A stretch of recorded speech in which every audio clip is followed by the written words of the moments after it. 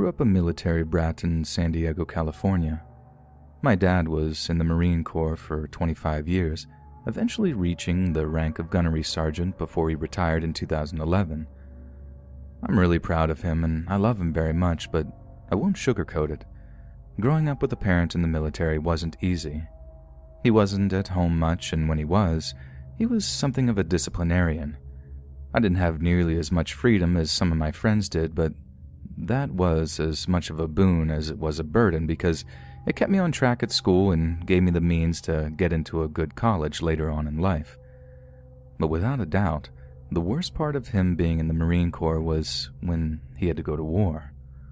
Although he wasn't part of the initial invasion force, Dad was deployed in Iraq in June of 2003. I was 11 years old at the time, and it really, really sucked having to say goodbye to him. No matter how much he tried to reassure us that he would be okay, I was old enough to be acutely aware that it might well have been the last time I ever got to talk to him, the last time I ever got to hug him, the last time I'd ever get to see him alive. Needless to say, the next six months were some of the most stressful of my life. Every little news report I saw on the TV gave me the worst anxiety, and every time we got news that a serviceman had died over there, I feared for the worse. Mom tried to shield me as best as she could, but as the risk of sounding a little full of myself, I was smart, inquisitive, and sensitive as a kid, and she could only do so much to keep me from worrying. So in September of 2003, Mom decided to take me to Disneyland for the weekend to take my mind off of things. To be honest, it was exactly what I needed.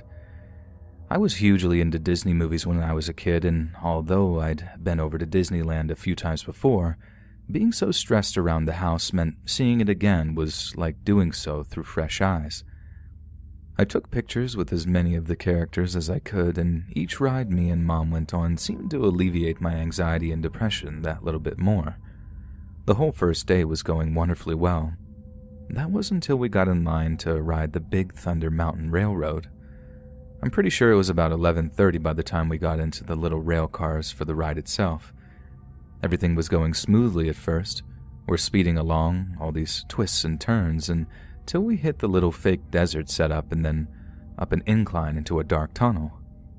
I just remember feeling like this jolting sensation shake the cars, all while we're in the dark, then this horrible grinding of metal and a thud before people in the cars in front of us started screaming. Everything came to a sudden stop, and everyone was all really shaken up from it. But it's then that I heard some of the worst things I've ever heard in my life. This woman starts asking out loud, Mark, Mark, Mark, wake up! Wake up, Mark!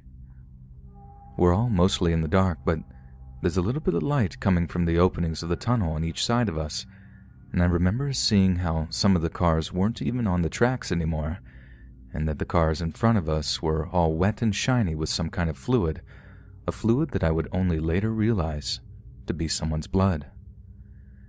In the moments after the rail cars came to a stop, people started clambering out of them and walking down the tunnel as fast as they could, calling out that someone was hurt really bad and that we needed help up there as soon as possible.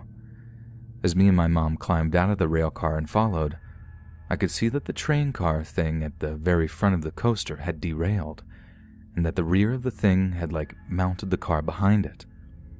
It was only then that I realized that whoever was in the car behind it would have taken the full force of that thing as we sped up that incline.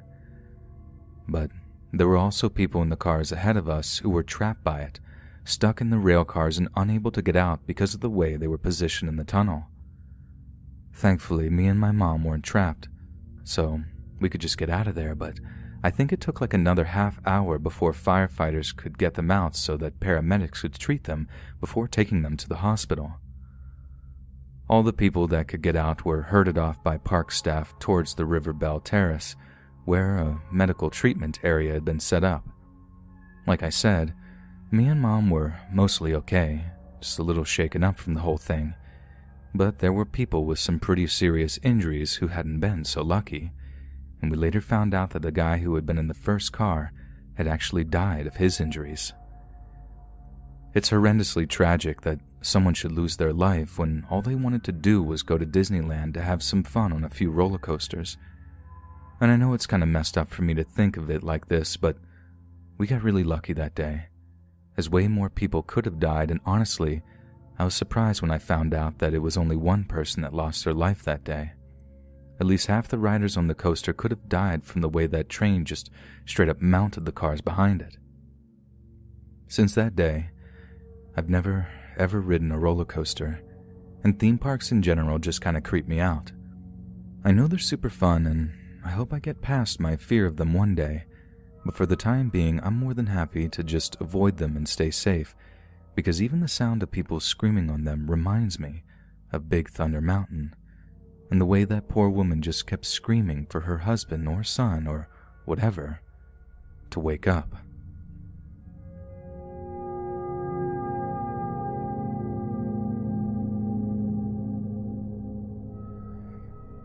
Back in 1999, I used to work at Disney World down in Orlando, Florida. I was a custodian, which is really just Disney World's fancy way of saying janitor. We mostly worked when the park was closed to clean the place up, empty the trash, and treat all the water features around the park with cleaning chemicals to keep them from getting stagnant and smelly. But there was also a little guest interaction involved too, including things like giving directions, helping guests plan their day, and answering the millions of questions they'd have about the park. So I suppose my job was 70% janitor and 30% walking information point. There were major perks, but there were huge downsides too. I'd get disgruntled guests coming up to me and complaining about the stormy weather as it meant that some of the rides were closed for a few hours. So I'd have to deal with that, just smiling and nodding and sympathizing, but Sometimes I swear it was like they wanted me to clap my hands and just magically disappear the clouds above our heads as if I had the power to do it. Like it's not my fault you choose to visit Disney World during a freaking hurricane season, dude, but make better choices, would you? I had to deal with lost children a few times too, and I also had to take valuable items to Lost and Found in Main Street, which was fun as it meant you could wander through Magic Kingdom on your way to the Lost and Found. That was one of the good things about being a custodian. You're allowed to walk all over the park, within reason. For instance, if a guest wanted directions to Space Mountain, I could walk them over to Tomorrowland instead of just telling them how to get there. This worked well when trying to communicate with guests who didn't speak any English. I had a lot of good times during that job. The whole team was like one big family, but I suppose that's why what I'm about to tell you happens to be probably the worst thing that's ever happened in my entire life, and why it still kind of messes me up 21 years later. So, this happened on the second weekend in February of 99. The actual park opened at 11 a.m., so we used to spend the first two or three hours of our shifts basically doing cosmetic cleans, testing rides, and generally making sure the park was ready to go for the day. The morning section of my shift involved helping out with cleaning and prepping Fantasyland and Tomorrowland. So at one point, I'm walking through the park and I see this guy, Ray, up on the platform for the Skyway in Fantasyland. He's sweeping away, whistling to himself, generally being the cheerful guy that he was. Ray was in his 60s at the time and had already been with us for like a year. Everyone liked him. He was older than most, but he was super chilled out and friendly and always willing to help out his fellow cast members. Like I said, we were one big family like that. We worked together, partied together, and some of us even lived together. I called up to him like, Morning, Ray Ray. He just smiles down at me, returns the greeting, and waves a little before going back to his sweeping. It was a beautiful morning. Everyone was in a good mood. It was another day in literal paradise in my mind. So I'm walking towards Tomorrowland for a few more minutes when I hear like this slow electric whirring sound above my head. The sound of the skyway starting up as the four person gondolas start moving along the track. I still feel terrible that it took me as long as it did to realize what was so wrong about the situation. It was a Sunday morning, and I was pretty tired and slightly hungover from having gone out drinking the night before with a few of the other cast members. Honestly, it took me a little while to stop blaming myself for not having prevented what happened, because I figured that if I'd been a little sharper, I'd have been able to really help. But then it hits me. The gondolas are moving, pretty fast too on their first test loop, and Ray is still up on the platform. Someone has switched on the Skyway and they hadn't checked if the thing was clear or not. So I just start running back the way I'd walked, following the platform of the Skyway and hoping I'd catch up to Ray before the gondolas reached him.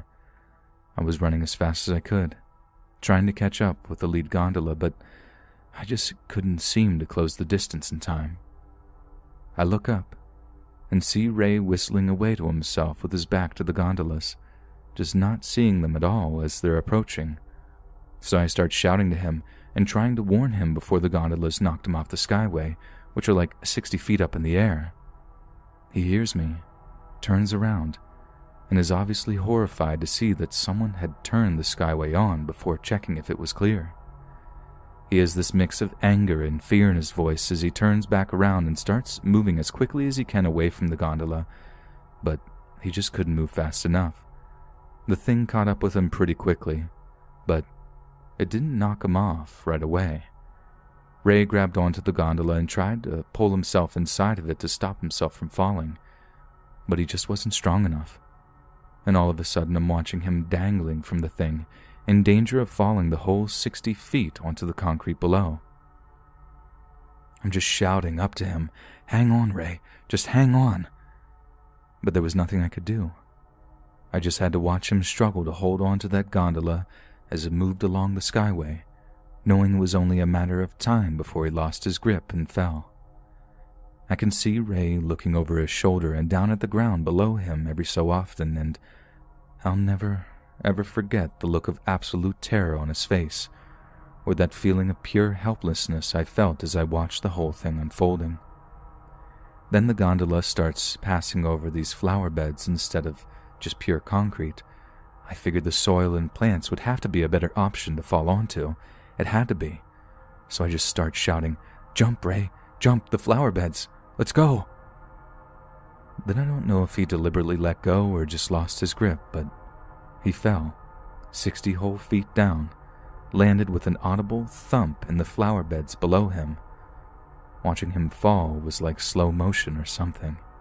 He seemed to fall so slowly, but I guess that's just because he had such a long way to fall. He was in a bad, bad way when I reached him. He wasn't moving at all.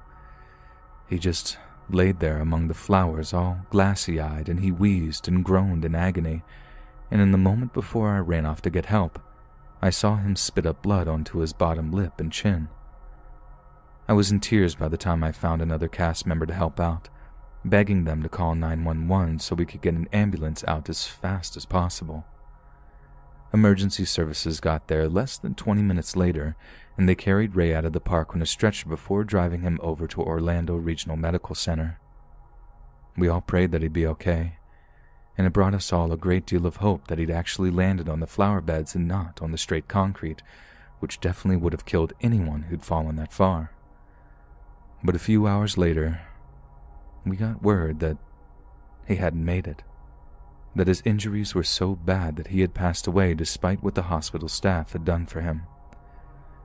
The fall caused too much trauma, too much internal bleeding, and he had slipped away after they'd operated on him to drain the blood from his lungs.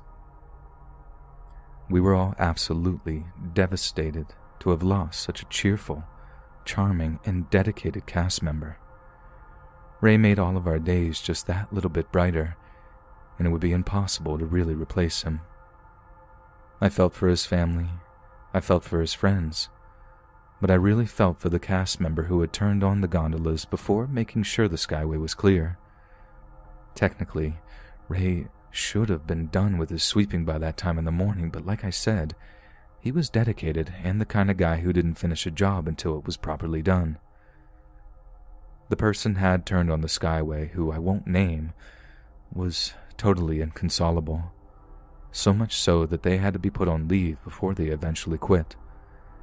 They blamed themselves for Ray's death, saying they should have checked the cameras, done a walk around to make sure the platform was clear. It was no one's fault. I've come to terms with that. It was a simple breakdown of communication, and it could have happened to anyone. It wasn't my fault. It wasn't Ray's fault. It wasn't the Skyway operator's fault.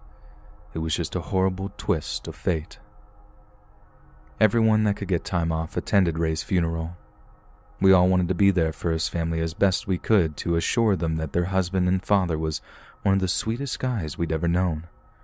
Ray was the first cast member to die in the park in over 10 years, and a little memorial was put up backstage for him so that we could all remember him at his best with a smile on his face instead of scared and broken. Rest in peace, Raymond Barlow.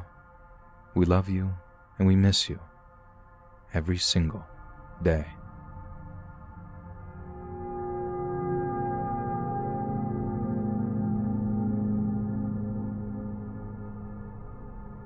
It's every kid's dream to go to Disney World, right? It's a dream that a lot of American kids never get to have come true, let alone British kids. So I always felt extremely fortunate and privileged that my parents were not only financially capable of taking our family over to Florida for a couple weeks, but also that they actually put the time aside to do something like that. In all likelihood, they probably didn't want to. I mean, no offense to anyone that does, but what kind of actual grown up wants to spend all that time queuing up for rides in the baking hot sun after paying for overpriced churros and chocolate sauce? That's not even touching on the pure scam that is Disney dollars. But still, my parents relented to mine and my sister's pleas to take us all the way across the Atlantic to arguably the craziest state in the Union, Florida. This happened a long time ago, back in 1998, so excuse me if I misremember any details about the park itself. But I remember the year pretty clearly because of the game StarCraft had just come out, and I was fortunate enough to pick up a copy in the US before it was even commercially available in the UK. To 10 year old me, Florida was like the land of the lost or something.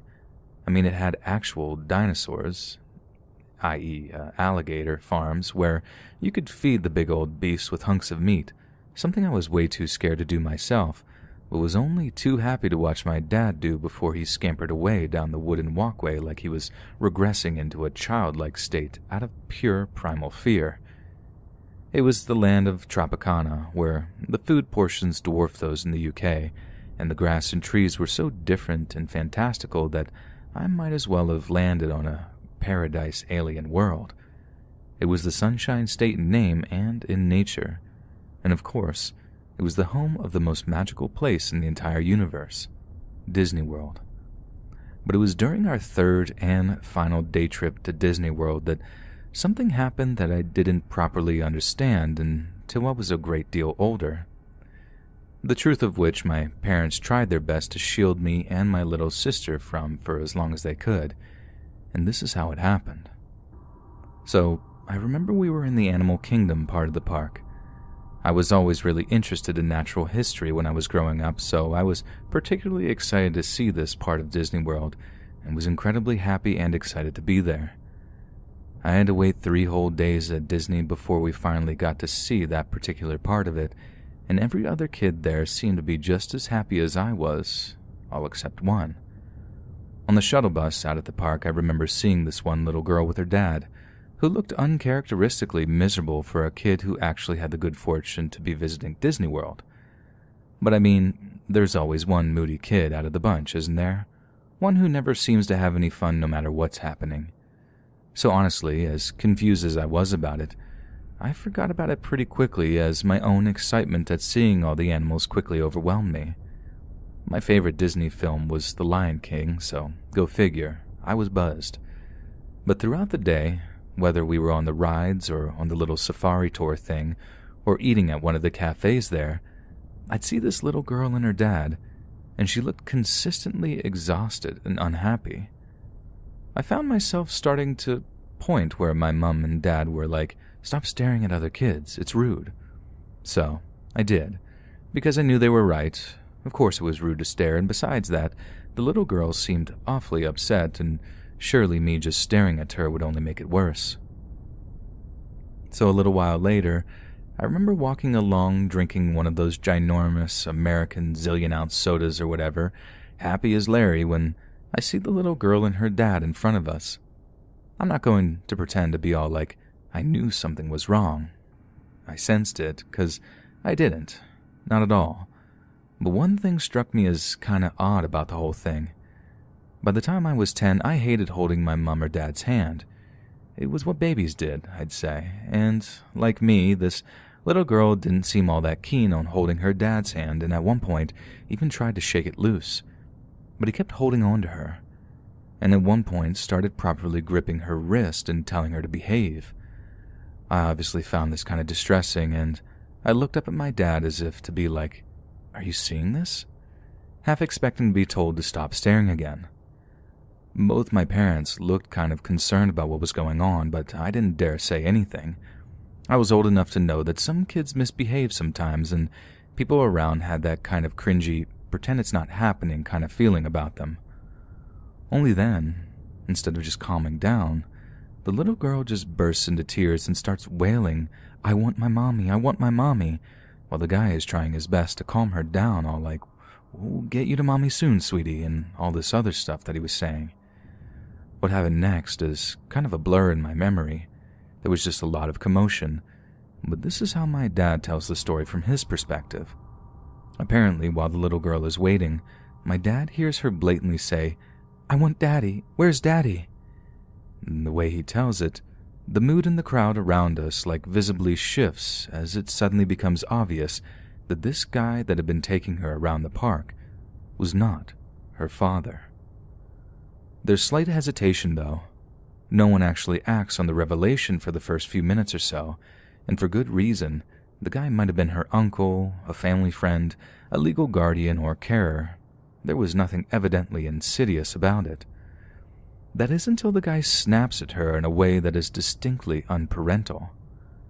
Apparently, some other American dad was all like, Is there a problem, buddy? or something, and the guy is quick to calm the situation down by telling them that, no, there's no problem. The little girl's just having a temper tantrum. Then someone asks if the guy is actually the girl's dad, to which he apparently replies, yes, before trying again to reassure the gathering crowd that everything was okay and that she was just having a tantrum. Now, the next part I remember pretty clearly, because the girl shouted something before the man with her clamps her hand over her mouth so hard it sounded like a slap. My mom starts pulling me and my sister away from the scene since it was starting to turn ugly. Like really ugly, really fast. According to my dad's version of it, what the girl had screamed before the guy tried to shut her up is that he wasn't her dad at all. Not only that, but he had took her. And that's when it starts getting confusing for me again because all kinds of people started moving forward and blocking my view, and all this shouting and moving kicks off but I do remember seeing this tubby woman shoving her way through the crowd of people with that same little girl in her arms who by that point was just sobbing uncontrollably. After that, I remember seeing the crowd that had formed around the guy begin to sway and shift. There were shouts and screams. I mean, like the kind of screams that were so intense and frightening that they made me shake and shiver with fear, and had my little sister bursting into tears. By the time park security showed up, who 10 year old me just assumed were the police, the crowd began to disperse, and I distinctly remember seeing the man who had apparently taken the little girl from God knows where, pinned to the ground with someone on top of him. That's about the only part that I can remember crystal clear to this day. A lot of my memory has been filled in with my mom and dad's retelling of the event, but the image of that guy's rage, how it twisted up in his features, is still burned into my mind and it's been made all the more sinister by the fact that I now know what he was so angry about. He'd taken that girl and kept her pliant because he'd promised her a trip around Disneyland. She was probably so keen to go that she just hadn't fought back, and God knows what he was intending to do with her afterward. But that chance had been taken away from him by a bunch of do gooders, at least that's the way I imagine he thought of it playing this sick long game of lulling his prey into a false sense of security before he finally got his way with her. Not that I realized any of that at the time. To 10 year old me, it was all just this big mess of confusion and fear. But knowing that whatever was going on was just very, very wrong. We have no idea what happened to the man or the little girl after that. No one spoke of it again for the rest of the holiday, and I'm pretty sure it was almost five or six years before one of them brought it up with me and explained exactly what the situation was. As far as I knew, all I'd seen was a dad mistreating his daughter who had then been arrested for it. And even to this day, it screws in my head that one of the worst things I'd ever witnessed happened in what was billed as the happiest place on earth, and how if things had gone just a little differently, that girl could have been a corpse, or worse, a few days later, and none of us would be any the wiser. Thank God she spoke up when she did. Thank God that there were people there that reacted the way they did, because I really don't want to think about the alternative.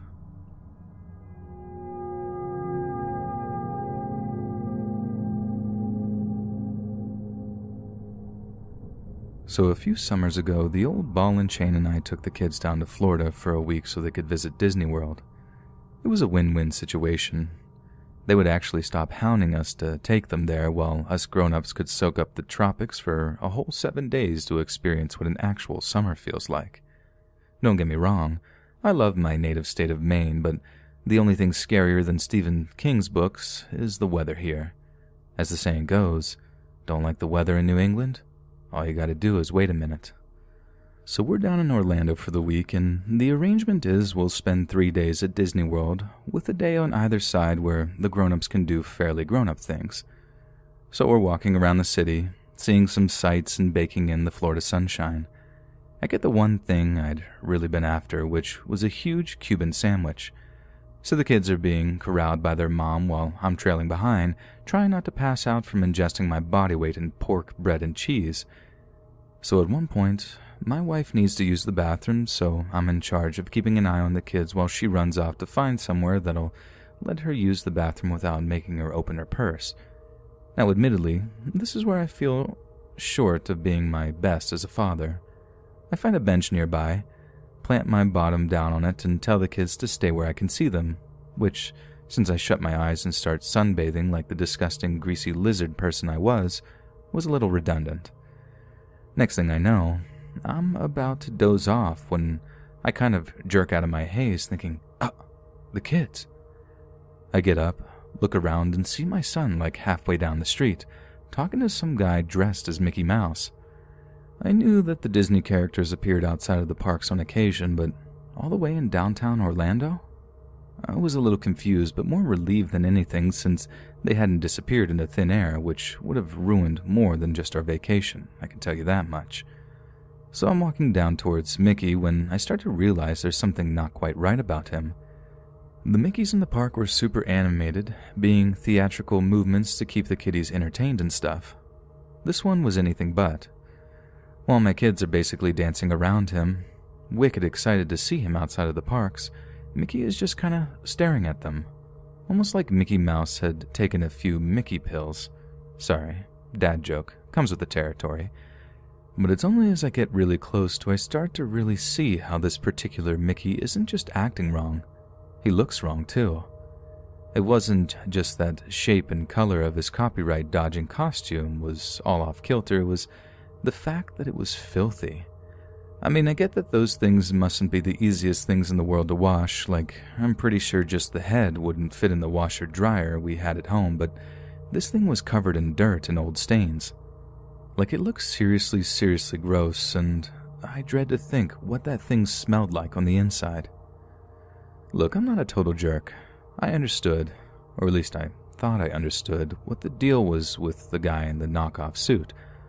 No one in a stable financial situation chooses to wear a stinky old Mickey the Rat suit or whatever and parades themselves around downtown Orlando. So, as the kids are still running circles around the dude, who I figured was just exhausted and half heat stroked, I reach into my wallet and go to hand him a 20. But the guy just looks at me, or rather, the guy didn't. The head did, which I did not anticipate to be so creepy. This pair of big, black, lifeless eyes just staring me down from a few feet away seriously rustled my jimmies. I kind of thrust the 20 in his general direction, like, hey dude, take the money. And the guy actually tilts the head at me. I mean, like a well rehearsed horror movie move. And obviously, I respond by putting the 20 back in my wallet as to not offend him any further. I call my kids back to me because their mom is probably wondering just where in the world that we gotten and they're all like, Oh, Dad, Can't we play with Mickey a little while more? While Mickey goes back to staring at them, which obviously is now making me super uncomfortable. I'm now insisting in my best stern dad voice that they do as they're told, or I'd be telling their mom, she's the tough one, that they've been misbehaving. As they do, Mickey reaches out to try to grab at my then seven year old son. Red line crossed right there. Don't touch my kids unless I know you.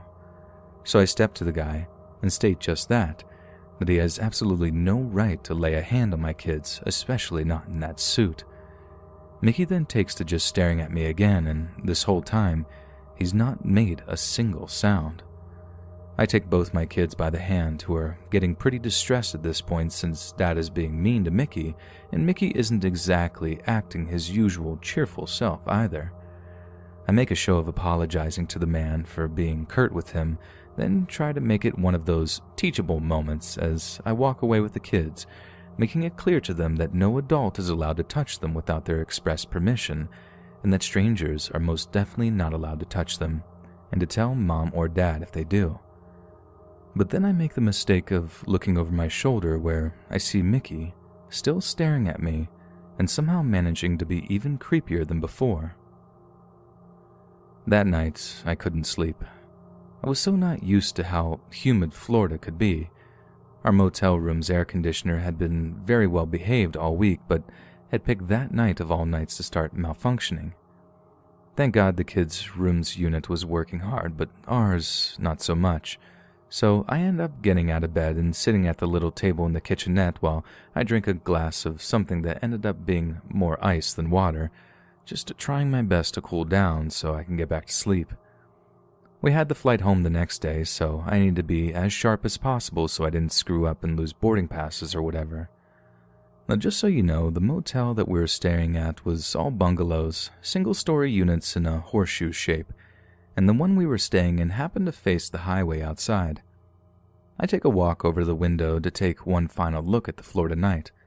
Like I love vacationing there, and I totally understood why it's the retiree's destination of choice. But as I'm looking out through the blinds, I see something out there that makes my jaw drop. Outside, silhouetted by the street lights, standing still as a statue over near the highway, is this really obviously Mickey Mouse shape. The big circular ears, oversized hands, the works. I actually say, like, no effing way, man, out loud to myself as the realization hits me. That knockoff Mickey Mouse guy from Orlando had somehow figured out where we were staying. Okay, so I have no idea how he managed to work that out. It's something I still think about from time to time, but the only concrete thing I have in my mind is that when not wearing that suit, he could have looked like just about anyone, so he could have followed us all the way back to the motel on foot or in a car or something, and I'd have no idea we were even being stalked. But like I said, since we left Florida the next day and I only talked to the cops down there one time, I've absolutely no definite answers on how that guy found us. So, I just find myself rushing back to the kitchenette to grab a knife from the drawer, which might seem like something of an overreaction to some of you, but I can't overstate the fear I was feeling at that moment. Something happens when you're a dad, something where you're just not willing to roll the dice with your kid's safety. So, whatever was about to happen, there was no way I was going into it with just my fists. So, knife in hand, I rush back to the window and look out to see that no one is there anymore. Note that I say no one and not nothing because lying in the parking lot about a hundred meters closer to the motel room is the entire knockoff Mickey Mouse costume, just lying there on the tarmac. I'm just staring at the thing in terror for a moment, like, this guy just stripped off his costume about 15 seconds and is now nowhere to be seen. Then what happened next is literally something out of a horror movie. I'm checking the peripheries of the parking lot, trying to spot the guy when, boom, he appears right in front of the window and bangs his head. Yes, his actual head, onto the glass window so hard I thought it would knock the entire pane out. I almost had a heart attack right there and whatever yelpy scream wail I made when the guy appeared immediately woke up the wife and kids. I tell the missus to get in the kids' room, lock the door behind her, and call the cops. which, after a few terrified questions pertaining to just what was going on, she did. I'm guessing the window pane was like security glass or something because this guy, who by the way was completely naked from head to toe, couldn't seem to break it no matter what he threw at it. Fists, forehead, whatever, it just boomed and shook in the frame. The whole time I'm just waving this knife at him and shouting that the cops are on the way, the cops are on the way, the second of which he seems to respond to far more than the former.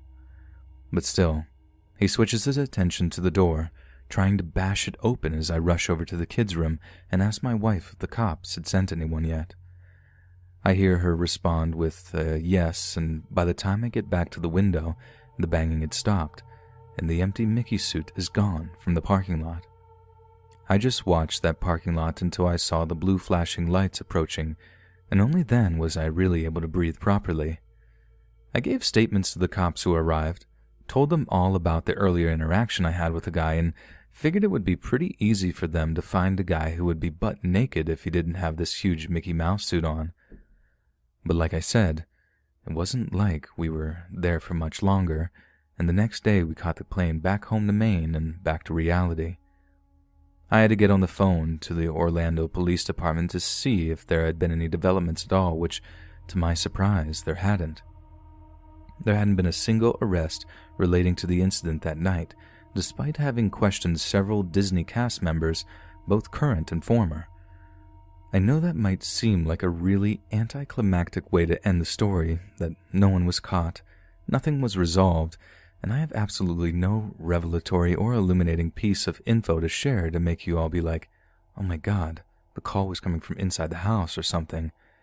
But that really is where the story ends. The guy found us, he terrorized us, and then we got out of Florida. I suppose I can end by saying that I'm looking forward to going back at some point when the kids are older and they have no interest in going to Disneyland, but definitely not anytime soon, and definitely not to downtown Orlando.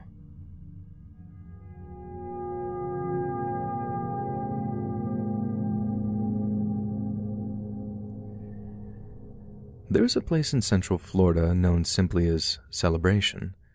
Conceived in the 1990s as a civil project by the Disney Development Company, Celebration was once touted as the definitive dream destination for Walt Disney fanatics, where they could escape the dreary reality of their everyday lives to live, either temporarily or permanently, in their very own residential dreamland.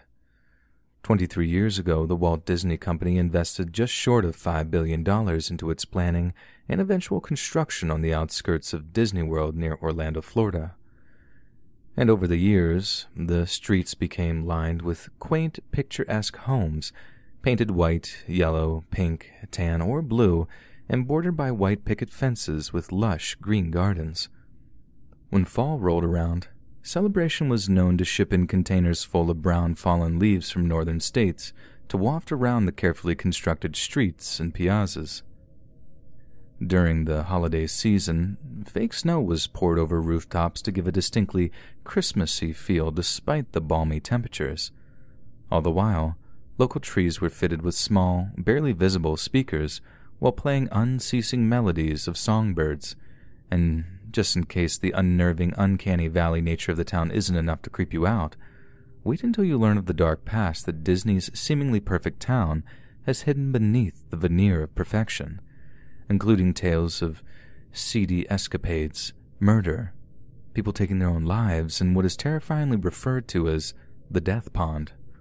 On the surface, Celebration appears to be exactly what it is billed as the happiest place on earth. Shortly after it was established as a census community, the town expanded and became capable of housing over 10,000 people, complete with a local hospital and school along with a commercial district that could cater to its many denizens. The place was so seemingly perfect that residents soon began to refer to the town as the Bubble, because it was almost like living in a parallel universe. There are others who compare it to something out of the Stepford Wives film and more recently the movie Get Out, where an appearance of civility hides dark, foreboding secrets. But not long after the town was established, cracks soon began to appear, both figuratively and literally, with shoddily constructed buildings, painfully strict rules, a dysfunctional and weird school, and even some unexplained deaths among its residents. Celebration might have been many things, but it was not a Disney theme park. It was a real town with a real problem, journalist and author L.J. Charleston once wrote. Plans for the town were initially announced in early 1994. Requests for residency there were initially so great that the Disney Development Company organized a lottery that people could join in order to be eligible for a chance of snapping up one of the 500 homes. At first, they expected no more than a few thousand applications to be received. In the end, they found themselves with over 10,000 families who longed for a little slice of residential heaven.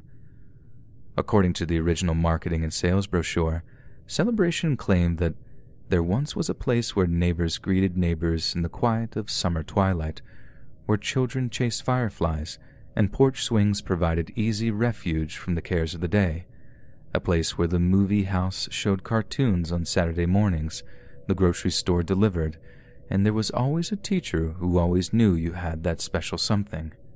Remember that place? Its name is Celebration. Yet as residents arrived in their droves, complaints of the painfully artificial prettiness and physical imperfections began as a trickle of gripes and grumbles grew into a torrent of discontent. Supposedly, it was compulsory that every single new home had to have the image of Mickey Mouse displayed somewhere on the property, and that was just one of the plethora of rules in the 160 page regulations book that residents were expected to follow. Other rules stated that only a certain variety of plants were permitted to be growing in the town's gardens, and special pathways were said to have been constructed at the rears of homes to conceal garbage cans and vehicles, which were said to be unsightly. This is on top of the fact that residents were said to have only been allowed to have certain colors of curtains and had to keep their carefully cut lawns at a specific uniform length. Jan and Ori Scheisel, a retired couple from Michigan and longtime residents of Celebration, told a British newspaper that if you're not one for rules and regulations, we can promise you, you really don't want to live here. They told a visiting journalist that no two adjoining houses could look alike, how no household could have more than two vehicles visible in its driveway, and that blinds or curtains could be any color at all, but had to be white on the outward facing side to give the homes a uniform look. If you don't have enough bark in your ground cover or you have dead plants on your porch, they'll send you a strongly worded letter, Mr. Scheisel said. But as the years went by, more sinister events were to visit themselves on the seemingly perfect town. In 1998, Celebration's tight knit community was horrified by the news of an armed home invasion. A couple were bound and gagged in their own home by a gang of masked burglars who proceeded to beat them mercilessly while they emptied the home of valuables. Then in November of 2010, a 58 year old teacher named Matteo Giovanditto, who lived alone with his pet chihuahua, was strangled unconscious with a shoelace before their body was chopped into pieces with a fire axe. Neighbors of Giovanditto only became suspicious when he didn't show up to school to teach their kids. Local law enforcement then made the grisly discovery when they knocked on his door and were greeted by the stench of decay. David Israel Murillo, who was homeless at the time, received a life sentence for the murder. He tried to defend his actions to police by saying that he flew into a rage after Mr. Giovanditto tried to assault him. In the aftermath of the murder, former students of Giovanditto confessed that he had touched them after inviting them to sleepovers at his house. One student's mother detailed that Mr. Giovandito, who she referred to as a cunning predator, developed a close relationship with her 10 year old son. She claimed the teacher assaulted her son while on school trips to countries including Mexico, Japan, and China. But the boy suddenly cut ties with Giovanditto, and she later learned that he had been abusing him for years. Then, just days after Matteo Giovanditto's death, a neighbor of his named Craig Foushee barricaded himself in his own house for around 12 hours and began shooting at police officers outside, who had only showed up to question him regarding the murder. No officers were hurt in the shootout, but when they gained entry to the house, they found Mr. Foushee dead from a self inflicted gunshot wound. It is believed that Foushee was involved in what had happened to the local children. There was also talk of a death pond near the tranquil town. Up until the late 90s, there were no warnings on the nearby road that if you took a wrong turn, you risked driving into the alligator infested water. Several incidents gave the pond its macabre name. Perhaps the most infamous concerned three young men who had been vacationing in Florida during the summer of 1998 before they mysteriously vanished. Their bodies were discovered nine months later inside a car at the bottom of the lake. A two year old boy was also eaten by an alligator as he played by the pond's edge. A property investor named Malcolm Longley, who had been relocated to Celebration from Maidenhead, also claimed that there was a sleazy element to life in Celebration, with the act of wife swapping being widespread. We call it celebration separation, he said during an interview in 2010. Pretty much all the British people I know who have moved here have come happily married and ended up divorced. It's an incestuous town, and there's an element of wife swapping. I'd never met swingers that much until I came here. He admitted that he had seen some move to celebration to hide away from problems and find some fairy tale ending, but they don't get it. After many years of strife and struggle, 2004 saw Disney selling Celebration to a company based out of New York City. Since then, many residents have hit out at the creepy reputation it has garnered. In response to a defamatory blog post, one resident wrote, I have lived in Celebration for nine years, and I love it. The best part about Celebration is the wonderful and caring people. I absolutely love living here. It is not creepy at all. Everyone is really friendly and it is beautiful. The current problems are for people living in condos, not houses. So many people that live here think it's the best place in the world to live and that they are truly blessed. Where else do you have beautiful walking trails, a selection of community pools to use, community events, and the ability to see multiple displays of fireworks every single night of the year. Plus, it is located so close to Disney, Universal, and SeaWorld, so I am able to go to a free concert all the time with my annual passes. What's not to love about this beautiful town?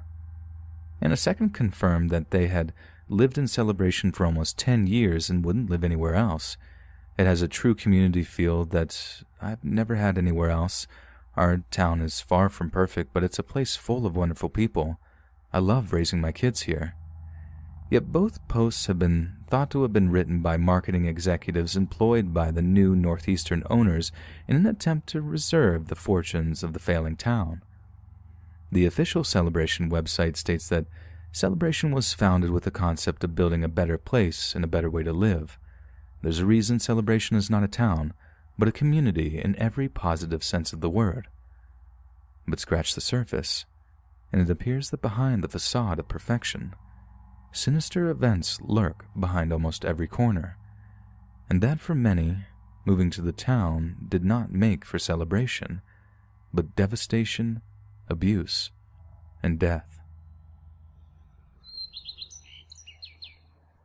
Hey friends, thanks for listening click that notification bell to be alerted of all future narrations. If you got a story, be sure to submit them to my subreddit, r slash let's read official, and give and receive feedback from the community, and maybe even hear your story featured on the next video. And join my Discord, interact with me and other listeners directly. And if you want to support me even more, grab early access to all future narrations for just $1 a month on Patreon, and maybe even pick up some Let's Read merch on Spreadshirt and check out the Let's Read podcast, where you can hear all these stories in long compilation form and save huge on data, located anywhere you listen to podcasts. Links in the bio. Thanks so much, friends. And remember, keep your mouth shut, or I'll find you.